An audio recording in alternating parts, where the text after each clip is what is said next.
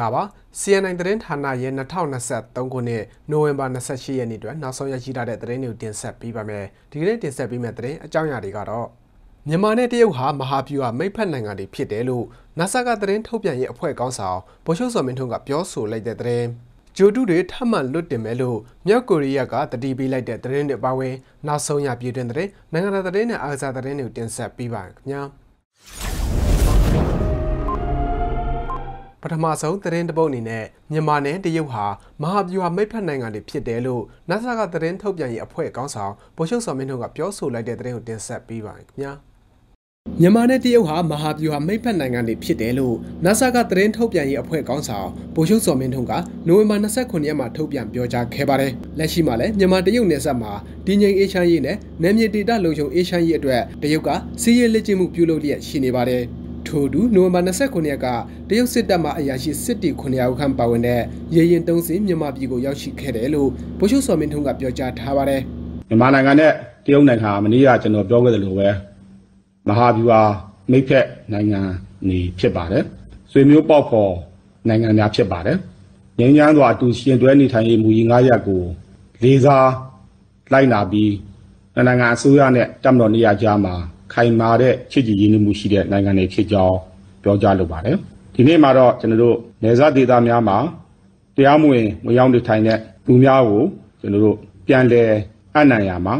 တရုတ်အမျိုးသား466ဦးအမျိုးသမီး89ဦးပေါင်း953ဦးကိုတရုတ်ပြည်သူ့သမ္မတနိုင်ငံတာဝန်ရှိသူများထံ ပြန်လည်လွှဲပြောင်းပေးနိုင်ခဲ့ပါတယ်။မြန်မာနိုင်ငံကိုရောက်ရှိခဲ့တဲ့တရုတ်ရေတပ်အနေဖြင့်မြန်မာနိုင်ငံအတွင်းမှာချစ်ကြည်ရေးခရီးလည်ပတ်မှုလေးလာမှုနိုင်ငံချစ်ကြည်ရေးအားကစားပြိုင်ပွဲတွေပြုလုပ်သွားမှာဖြစ်တယ်လို့ဗိုလ်ချုပ်စော်မင်းထွန်းကပြောကြားထားပါတယ်။လက်ရှိမှာလည်းမြန်မာတရုတ်နယ်စပ်အနီးမှာညီနောင်မဟာမိတ်တုံးဖွဲ့နဲ့မြန်မာတပ်မတော်တို့အကြားတိုက်ပွဲတွေဖြစ်ပွားလျက်ရှိနေပါတယ်။တရုတ်အနေဖြင့်ညီနောင်မဟာမိတ်အဖွဲ့ကိုအားပေးအားမြောက်ပြုလုပ်နေတယ်လို့လူထုတွေကမြင်ကြကြောင်းမြန်မာနိုင်ငံရေးလေးလာတုံးတတူဒေါက်တာအောင်မျိုးက CNN သတင်းဌာနကိုပြောပါတယ်။အဲ ပထမတစ်ချက်ပြောရမှာကတော့ဟိုကျွန်တော်တို့ဒီဗမာပြည်မှာဖြစ်နေတဲ့ တရုတ်သဘောထားပေါ့နော်ဒီသဘောထားကဒီအထွေထွေအားဖြင့်ကတော့ ကျွန်တော်တို့ဒီအခုမြောက်ပိုင်းသုံးဘွဲ့ဖြစ်တဲ့ကိစ္စမှာ တရုတ်က နောက်ကနေပြီးတော့ မီးထိုးပေးတယ်လို့အဲအဲအထွေလူလူအထွေတွေပေါ့နော် general public opinion ပေါ့နော် အဲ့မှာအဲ့ဒီလိုလေးမြင်နေကြတယ်ပေါ့နော်အဲ့တော့အဲ့လိုမြင်တာဘယ်လောက်မှန်လဲမမှန်လဲဆိုတာကတော့အဲကျွန်တော်တို့ပြောရခက်တယ်တခုကျွန်တော်တို့မှန်းဆကြည့်တာကအဲ့ဘက်မှာကျွန်တော်တို့ကတရုတ်ပြည်ဘက်ကကျွန်တော်ရှင်းလင်းပြသတဲ့အဲတုံ့ပြန်မှုတစ်ခုကိုကျွန်တော်တို့အဲမတွေ့ရဘူးအဲတခုကြည့်တာကတော့ အခုအခုလောက်တဲ့သဘောကတစ်ချက်ကနှစ်နိုင်ငံဟလာမိမပြတ်ချစ်ကြည်ပါတယ်လို့ဒါလာဟိုမိသားတစ်ဖက်ရင်မိုးတစ်ဖက်လောက်တာလားဒါမှမဟုတ်တကယ်ကိုချစ်ကြည်ရင်းနှီးလို့တဲ့စေနာဆန္ဒအမှန်ပဲရှိသလားဆိုတာကဘယ်သူမှကျွန်တော်တို့ကဝေခွဲမရဘူးဖြစ်နေတာပေါ့နော်ကျွန်တော်တို့သုံးသပ်တဲ့လူတွေရောလူတို့ကလည်းအဲ့လိုတွေဖြစ်ဟောဟောပေါ့ဒီတဲ့ပို့ပြီးတော့ရှင်းရှင်းလင်းဖြစ်အောင်တော့လုပ်တင်တယ်လို့ဖြစ်တယ်ပေါ့နော် တရုတ်မြန်မာနိုင်ငံနယ်နိမိတ်ဟာမိုင်ပေါင်1300ကျော်ထိစပ်လျက်ရှိပြီးနယ်စပ်အနီးမှာရှမ်းပြည်ပြန်လည်ထူထောင်ရေးကောင်စီ RCSS SSA ကချင်လွတ်လပ်ရေးတပ်မတော် KIA ရှမ်းပြည်တိုးတက်ရေးပါတီ SSPP SSA ဝါပြည်တွေးစည်းညွညွတ်ရေးပါတီ UWSA အမျိုးသားဒီမိုကရေစီမမိတ်တပ်မတော် NDAA MNDAA TNLA နဲ့ AA စတဲ့လက်နက်ကိုင်အဖွဲ့အစည်းတွေလှုပ်ရှားလျက်ရှိပါတယ်။ ရခိုင်ပြည်နယ်မှာရေလံကုန်းလအဝင်ထွက်လမ်းကြောင်းတွေအားလုံးပိတ်ထားတာကြောင့်စစ်တွေနဲ့ကြောက်ဖြူမျိုးတို့မှာဆံပြက်လက်မှုနဲ့ကြုံတွေ့နေတယ်ဆိုတဲ့သတင်းပြေဆုံးလည်းကြည့်အောင်ပါခင်ဗျာ။ ရခိုင်ပြည်နယ်မှာရခိုင်တပ်တော် A နဲ့မြန်မာတပ်မတော်တို့တိုက်ပွဲဖြစ်ပွားနေတာကြောင့်လမ်းကြောင်းတွေကိုပိတ်ထားတာကြောင့်လက်ရှိမှာစစ်တွေမြို့နယ်နဲ့ကြောက်ဖြူမြို့နယ်တွေမှာဆံပြက်လက်မှုနဲ့ကြုံတွေ့နေရတယ်လို့သိရပါတယ်။ရခိုင်ပြည်နယ်ကောင်စီကနိုဝင်ဘာ23ရက်နေ့ကနေစတင်ပြီးတော့ရေလန်းကုန်းလန်းအဝင်ထွက်အလုံးကိုပိတ်ထားတာကြောင့်ဆန်လက်ကျန်အနှဲငယ်ပဲကျန်ရှိတော့တယ်လို့သိရပါတယ်။လက်ရှိမှာစစ်တွေမြို့နယ်မှာတိုးလောင်ထားတဲ့ဆန်ပမာဏကတပတ်စာသာကျန်ရှိတော့တာကြောင့်မြောက်ဦးမြို့နယ်ကနေတဆင့်ဆန်ကိုရေလန်းကြောင်းကနေတည်ယူခွင့်ရရှိဖို့ဆန်ဆက်လုပ်ငန်းရှင်များအသင်းနဲ့ကုန်သည်တွေကပြည်နယ်ကောင်စီထံတင်ပြထားတယ်လို့တညဝတီတောင်သူလက်တမအတင်းချုပ်ကအတွင်းရေးမှူးဦးမောင်သိန်းလာက CNI သတင်းဌာနကိုပြောပါတယ်ဟိုကျွန်တော်တို့သိရသလောက်ကတော့ဟိုပါပေါ့အဓိကစစ်တွေပေါ့နော်စစ်တွေကြောက်သူတွေကြားတာပဲကျွန်တော်တို့မြောက်ဦးတို့မှာတော့ဆံပြက်လက်တာမရှိဘူးဒီမှာကတော့ဆံစပါးထုတ်လုပ်တဲ့နေရာဖြစ်တဲ့အတွက်လေကျွန်တော်တို့တက်ကြတာစစ်တွေမှာတပတ်စာလောက်ပဲရှိသည်ဆိုတော့ကြားရတယ်ကြောက်ဖြူမှာလည်းပါပေါ့ဟိုဝေဟိုပင်နေတင်ကလည်းတော်တော်လာလို့မရလို့ရှင်ပါလေပုံစံတွေကလည်းလမ်းပိတ်ထားတဲ့အခါမှာ အဲ့ဒါကစပါးထွက်တဲ့နေရာမှာဟုတ်လေအဲ့အဲ့ဒီနေရာကမှလည်းပြက်လိုက်တယ်စစ်တွေမှာရှိတဲ့ဆန်ရအတင်းဥက္ကဋ္ဌတို့ကုန်တင်များအပြင်ဥက္ကဋ္ဌတို့ကဒီလိုမျိုးဆန်တစ်ပတ်လောက်တည်းရှိပါပြီပြည်တော်ချုပ်ကလေးနေကြထားတယ်နောက်တော့အဲ့ဒီမှာဒီမှာရိခါပြက်လက်မှုမရှိသေးတဲ့အတွက်ဟောကျွန်တော်မြောက်မျိုးတွေကဆန်တွေကိုပြည်ကိုပါမိကြပါလေရှောက်ထားတယ်ဆိုတာကြားရပါတယ် လက်ရှိမှာပေါ်စံမွေကတသိန်း3000ကျပ်ဖြစ်ပေါ်နေပြီးတချို့သောဆန်ဆိုင်တွေကဆန်ရောင်းချမှုတွေကိုရနာထားတဲ့ကြောင့်ဝယ်ယူလို့မရဖြစ်နေတယ်လို့စစ်တွေမြို့ဒေသခံတွေကပြောပါတယ်စစ်တွေမြို့နယ်မှာရှိတဲ့ငွေကြေးတက်နိုင်တဲ့ဒေသခံအများစုကတိုက်ပွဲတွေဖြစ်ပွားချိန်မှာဆန်ကိုကြိုတင်ပြီးတော့ဝယ်ယူစုဆောင်းထားကြပေမဲ့လည်းလက်ရှိမှာဆန်တွေကသုံးဘတ်စာကနေတလစာအထိပဲကျန်ရှိတော့တယ်လို့သိရပါတယ်စစ်တွေဒေသခံဦးစိုးနိုင်ကစစ်တွေနဲ့ဆန်ဆိုင်တွေကတော့ဆန်ရောင်းဖို့မရှိတော့ဘူးလို့ကြားတာပဲ ဒါပေမဲ့ လူတော်တော်များများတော့နေနေဟောပေါ့ဆန်ကြိုစုထားတာတွေ ရှိတယ် နောက်ပြီးတော့စဘာပေါ်ရှိစဘာလည်း ပေါ်နေပြီလေဒါလေးဖြစ်ဖြစ်တော့ဘယ်လောက်ထိဟောပေါ့လေတနည်းနည်းနဲ့တော့ ရောက်လာမှာဆိုပြီးတော့လူကြီးတွေကအဲအခု ဆန်ရှားရဆိုတာ လမ်းပတ်ဆက်တွေကြောင့် ရှားတာလေဒီနေ့ကတော့ ကျွန်တော်ကကဘာအသက်ကောင်းတယ်လို့လည်း ကြားတယ်နားနောက်ပြီးတော့နေနေမှာလည်းသဘာဝရပေါ်စားပြီးနေပေါ့ အဓိကသေယူပို့ဆောင်လို့ ရတယ်ဆိုရင် ဒါကတော့ အတိုင်းအတာတစ်ခုတော့ဒီလားပေါ့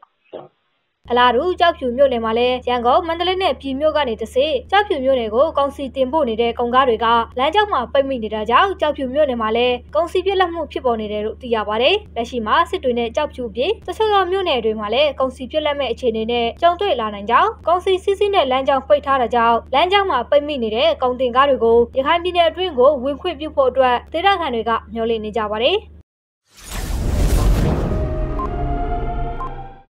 ဆက်လက်ပြီး CNN သတင်းဌာနရဲ့နိုင်ငံတကာသတင်းတွေကိုတင်ဆက်ပေးပါမယ်။ဂျူဒူတွေထပ်မံလွတ်တင်မယ်လို့မြောက်ကိုရီးယားကတတိပေးလိုက်တဲ့သတင်းပြေဆုံးကိုလည်းတင်ဆက်ပေးပါခင်ဗျာ။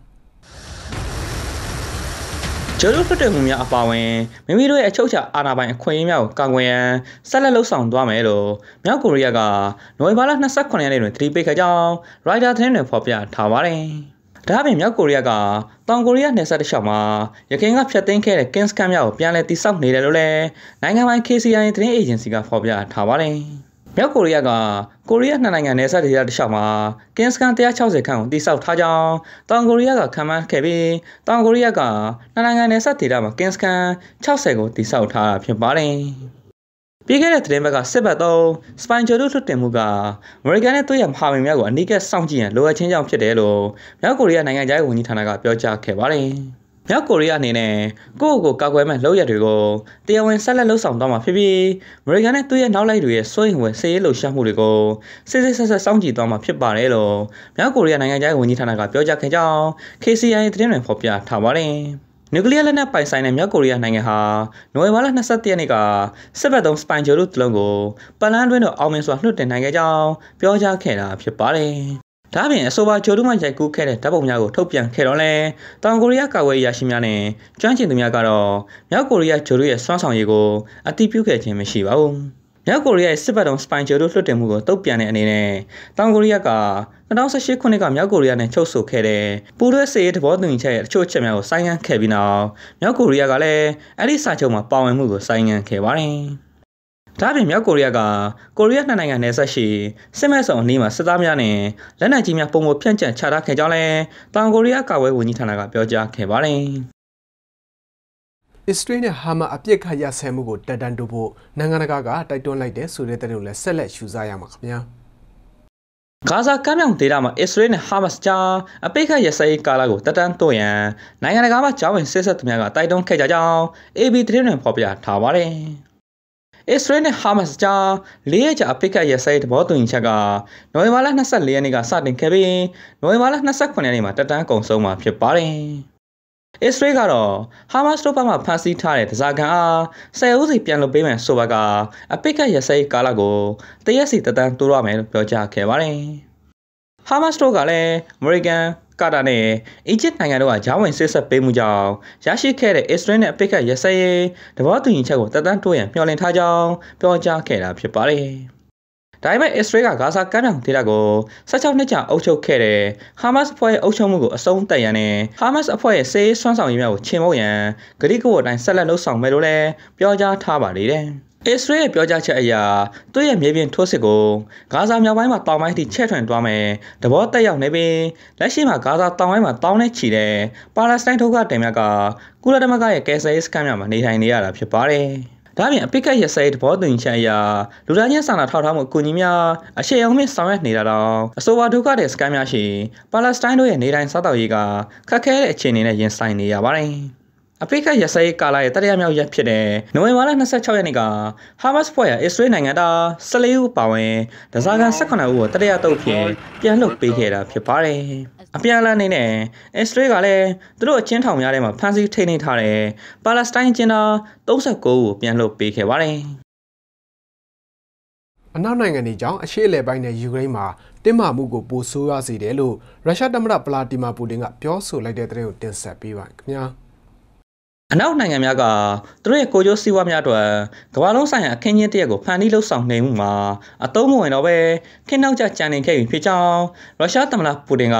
Primark Reading နိုင်ငံတကာဖိုရမ်မှာမိန့်ခွန်းပြောကြားခဲ့ကြောင်း TASS သတင်းဌာနတွင်ဖော်ပြထားပါတယ်။အခုနဲ့ foreign အဓိကဆိုလိုရင်းကတော့ globalization အလွန်အသိမြင်များလို့အမိပေးထားပါတယ်လို့ပူတင်ကပြောကြားခဲ့ပါတယ်။ globalization လို့ခေါ်တဲ့ဝါရက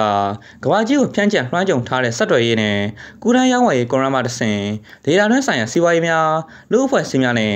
ယဉ်ကျေးမှုများစတင်ပေါင်းစည်းလာတဲ့ဖြစ်စဉ်တရက်ကိုဖော်ပြခြင်းဖြစ်ပါတယ်။ အနောက်နိုင်ငံတွေဖန်တီးထူထောင်ခဲ့တဲ့ globalization ပုံစံဟာတဖြည်းဖြည်းနဲ့အသုံးမဝင်တော့ပဲခေတ်နောက်ကျလာခဲ့တာတိတာထင်ရှားလာပါပြီ။နိုင်ငံတကာဆက်ဆံရေးမှာမျှတမှုရှိပြီးဒီမိုကရေစီစနစ်ပေါ်ဆန်တဲ့အခင်းကျင်းတစ်ခုပေါ်ထွက်လာခဲ့ပါပြီ။အဲ့ဒီအခင်းကျင်းတဲ့ဟာကမ္ဘာလုံးဆိုင်ရာလူအများစုရဲ့လိုအပ်ချက်တွေကိုပုံမကောင်းမွန်စွာဖြည့်ဆည်းပေးနိုင်ပါလိမ့်မယ်လို့ပူတင်ကပြောပါတယ်။ ကမ္ဘာရေးကိစ္စများမှာဩဇာလွှမ်းမိုးမှုရရှိရန်ကြိုးပမ်းနေတဲ့လူတိများတဲ့နိုင်ငံများကသူတို့ရဲ့ရင်းရလာတဲ့ဩဇာလွှမ်းမိုးမှုကိုပြန်လည်ထိန်းသိမ်းရန်ချင်းချောက်များအကြက်ကင်များပြုလုပ်နေပြီးစီမင်းခြေပြုနိုင်ငံတကာခင်းချင်းတရက်ကိုအစားထိုးနေကြောင်းပူတင်ကဆက်လက်ပြောကြားခဲ့ပါတယ်။အဲဒီလိုတည်ငြိမ်မှုကိုပြန်ရင်းစေတဲ့မူဝါဒဟာယူကရိန်းပြည်ပခါနဲ့အစ္စရေးပါလက်စတိုင်းစစ်ပွဲကိုပုံမအရှိန်မြင့်တက်စေပါတယ်လို့လည်းရုရှားသမ္မတကပြောကြားခဲ့ခြင်းဖြစ်ပါတယ်။ CNN သတင်းဌာနရဲ့နောက်ဆုံးသတင်းတပုတ်အနေနဲ့အားစားသတင်းကိုတင်ဆက်ပေးပါမယ်။အန်နာဆာရဲ့အောင်မြင်မှုကြောင့်ပျော်ရွှင်တယ်လို့ရိုနယ်ဒိုကပြောဆိုလိုက်တဲ့သတင်းကိုလည်းတင်ဆက်ပေးပါရခင်ဗျာ။အန်နာဆာအသင်းဟာပါစီပိုနဲ့အသင်းနဲ့အာရှချန်ပီယံလိပွဲစဉ်မှာဂိုးမရှိတရေကြခဲ့ပေမဲ့အသင်းကောင်းဆောင်ရိုနယ်ဒိုကအသင်းရဲ့အောင်မြင်မှုကြောင့်ပျော်ရွှင်တယ်လို့ပြောခဲ့ပါတယ်။ရိုနယ်ဒိုကကျွန်တော်တို့ဟာအုပ်စုပထမနဲ့နောက်တစ်ဆင့်တက်နိုင်ခဲ့ပြီးပြိုင်ပွဲစုံ20ပွဲဆက်တိုက်ရှုံးပွဲမရှိကစားနိုင်တဲ့အောင်မြင်မှုကြောင့်ပျော်ရွှင်ပါတယ် အလွန်ကောင်းမှုနဲ့အသင်းလိုက်လှုပ်ဆောင်မှုပါလို့သူ့ရဲ့ဆိုရှယ်မီဒီယာမှာရေးသားထားခဲ့တာပါ။အဲနာဇာအသင်းဟာပါစီပိုလစ်အသင်းနဲ့တည်ရကြခဲ့တာကြောင့်အာရှချန်ပီယံလိအုပ်စုအတွင်းပွဲစဉ်၅ပွဲကစားပြီးမှရမှတ်73မှတ်နဲ့16တင်အဆင့်တက်ရောက်နိုင်ခဲ့ပြီဖြစ်ပါတယ်။ဒီပွဲစဉ်ရဲ့ပွဲချိန်အစောပိုင်းမှာပါစီပိုလစ်ကစားသမားဟာရန်နာဒိုကိုဂိုးအေရီးယာအတွင်းပြစ်ဒဏ်ကျူးလွန်ခဲ့တယ်ဆိုပြီးကွင်းနယ်ထိုင်လူကြီးကပလာတီသတ်မှတ်ပေးခဲ့ပါတယ်။ဒါပေမဲ့ရန်နာဒိုကဒီဖြစ်ရဟာပြစ်ဒဏ်ပေါ်မဟုတ်တဲ့အတွက် ပန်နတီဆုံးဖြတ်ချက်ကိုပြန်ပြောင်းဖို့ကွဲနယ်တိုင်လူကြီးကိုတောင်းဆိုခဲ့တာပါအဲဒါကြောင့်ကွဲနယ်တိုင်လူကြီးဟာ VAR နဲ့ပြန်လည်သုံးသပ်ပြီးနောက်ဒီဆုံးဖြတ်ချက်ကိုပြန်ပြောင်းခဲ့တာဖြစ်ပါတယ်ဆိုရှယ်မီဒီယာတွေမှာတော့ပန်နတီကိုညှင်းဆန်ခဲ့တဲ့ရန်နာဒိုရဲ့နှုတ်ရက်အပေါ်လေးစားကြောင်းဖော်ပြနေကြပါတယ်အသက်38နှစ်အရွယ်ရှိရန်နာဒိုဟာဒီယာဒီမှာအဲနာဆာအသင်းအတွက်ခြေသွမ်းပြသနေတာဖြစ်ပြီးပြိုင်ပွဲဆုံး25ပွဲမှာ24ဂိုးအထိသွင်းယူထားတာပါ Sorry Brody အမှတ်ပေးစရာအဆင့်2နေရာမှာရပ်တည်နေတဲ့အဲနာဆာအသင်းဟာ ဒီအပတ်လိပွဲစဉ်အဖြစ်ထိပ်ဆုံးနေရာကအဲဟီနယ်အသင်းနဲ့နိုဝင်ဘာ30ရက်မှာရှင်ပြိုင်ရမှာဖြစ်ပါတယ်။ CNN သတင်းဌာနရဲ့2023ခုနှစ်နိုဝင်ဘာ28ရက်နေ့အတွက်နောက်ဆုံးရရှိထားတဲ့သတင်းတွေတင်ဆက်ပေးခဲ့တာပဲဖြစ်ပါတယ်။ကြည့်ရှုအားပေးသူတွေအားလုံးရှင်လန်းချမ်းမြေ့ကြပါခင်ဗျာ။